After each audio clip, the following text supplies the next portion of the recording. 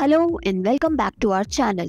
Today I am going to show you how to create a realistic curved billboard mockup in Photoshop.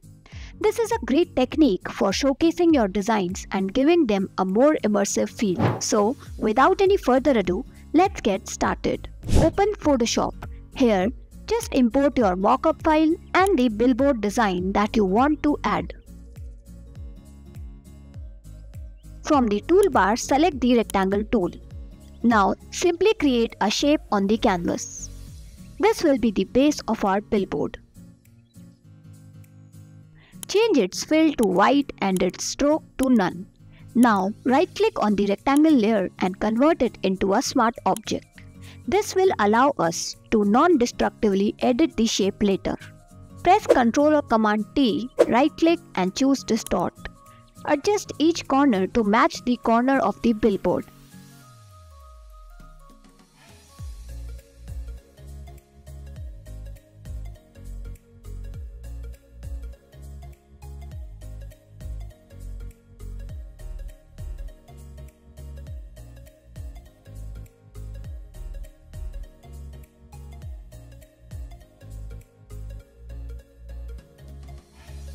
Again right click and this time choose warp. Move the points and adjust them as per the billboard shape.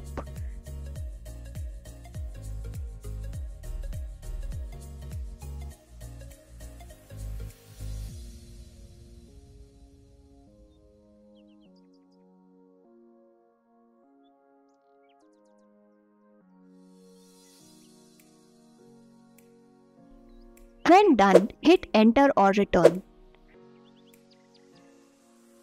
Now double click on the smart object layer. This will open up a new document. Here paste your design. Unlock it. Go to edit, copy and paste it in the document.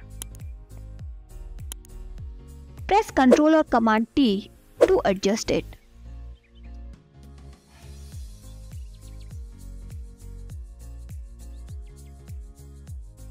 Now go to File and save it. Go back to the billboard mockup and here you'll see that our design has been applied to the mockup. Change its blending mode to multiply. Adjust it further by pressing Ctrl or Command T